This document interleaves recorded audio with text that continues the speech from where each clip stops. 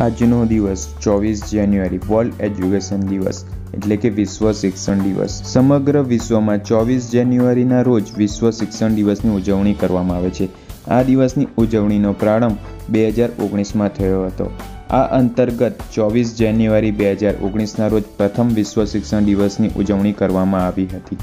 સંયુક્ત રાષ્ટ્ર દ્વારા ત્રણ ડિસેમ્બર બે અઢાર, બે હજાર અઢારના રોજ આ દિવસની ઉજવણીનો પ્રસ્તાવ પસાર કરવામાં આવ્યો હતો.